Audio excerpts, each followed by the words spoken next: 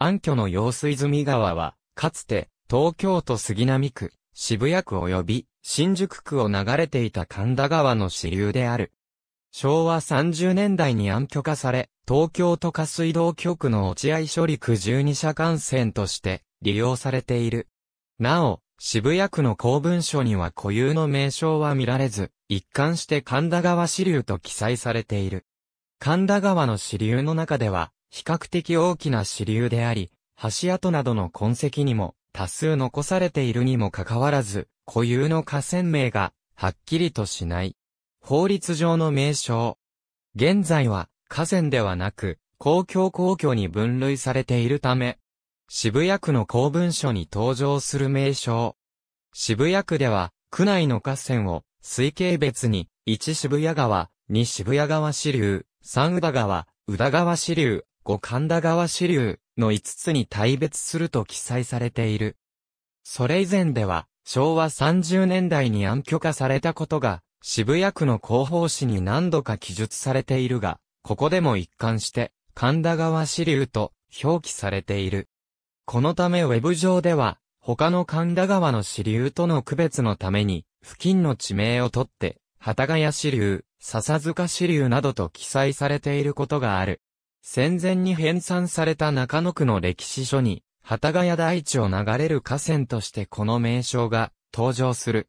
なお、現在の流路の大部分を占める渋谷区の歴史書に、この名称は見られない。明治時代の東京府水車管理資料に登場する名称。玉川上水幡ヶ谷村分水の下流に位置することから、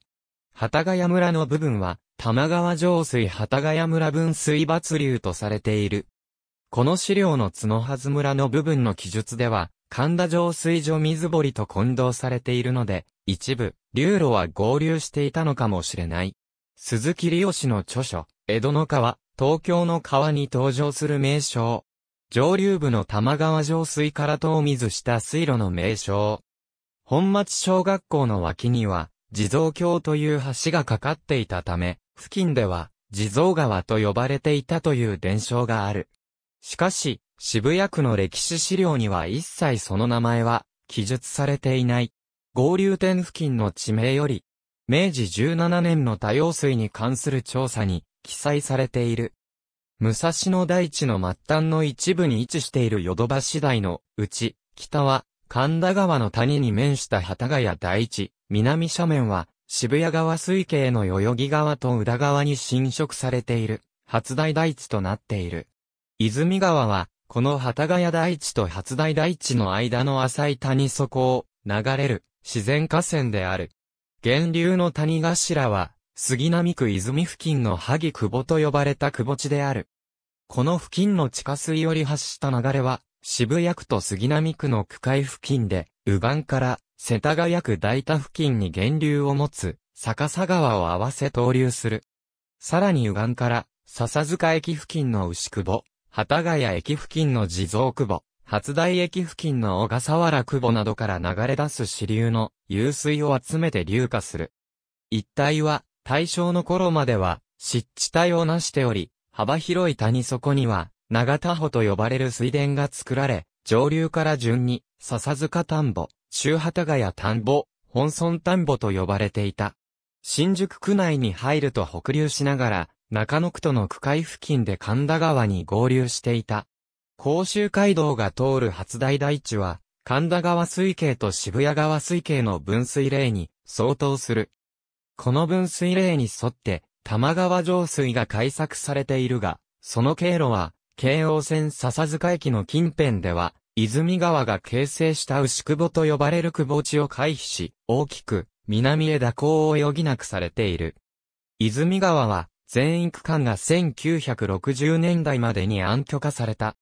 現在も確認することができる、流路跡は、昔からあった、自然河川である泉川に、玉川上水の除水である、幡ヶ谷村分水を合わせたものとなっており、水田が作られていた時代の水路などが複雑に入り組んだ流路群を形成している。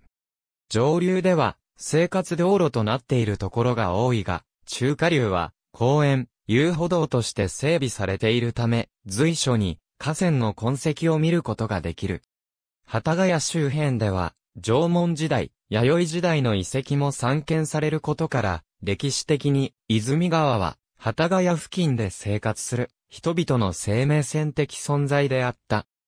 とりわけ稲作農業を営む者にとっては、極めて重要な水源であったはずだが、河川としての規模は小さくまた、厳冬水源を許さないことから、その水供給は、極めて不安定であったものと推察される。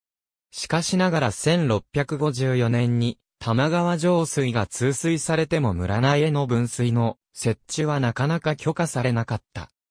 幡ヶ谷村への分水の許可は、1722年以降の神殿開発政策によって、多くの分水が許可されるようになってから50年以上、遅れた1775年になってから、しかもその規模はかなり小さなもので、取水口のサイズは、わずか4寸と玉川上水の分水としては、最小であった。それでも地元にとっては重要な水源であったようで、1898年に玉川上水浸水路建設に伴い分水が廃止となった際には、透水を行った上でそれを湧き水と偽装することにより、水源を確保していた。この偽装工作は、まず偽装のために周囲に小さな弁天地を掘り、その弁天地のほとりに、もともと地元にあった部材店を移設、その後弁天池の底を玉川上水と連結することで上水の水を湧き水のように偽装して、弁天池と同水するというかなり凝ったものであった。この偽装工作は、幡ヶ谷の市街化で農業用水としての存在理由がなくなり自然、消滅するまで続いたという。なお、偽装に使われた、部材店は、湧き水消滅後は、本来の場所に戻されたそうである。この取水口から、現在の環状7号線の付近で泉川へ、流下するまでの道水路は、玉川上水とは逆に西に向かって流れていたことから、地元では、逆さ川とも呼ばれていたという。沼田浅見、福岡昌司、入沢昭義。豪雨時における神田川への大規模下水道幹線からの流入流量、ハイドログラフの水産水工学論文集、第57巻、2013年2月。渋谷区地域防災計画風水害対策編、第1部風水害予防計画。2007年。中野区市1943年東京市、中野区役所編。用水名称別に無の、幡ヶ谷村幡間川上水より、樋口をもって、引き取りる。右竜松角はず村にいる利外川果てに手砂利を、掘り取りるゆえにまた砂利城川とも言う。と記載されているという。堀切森之助編、幡ヶ谷郷土市1978年渋谷区立、渋谷図書館館。ありがとうございます。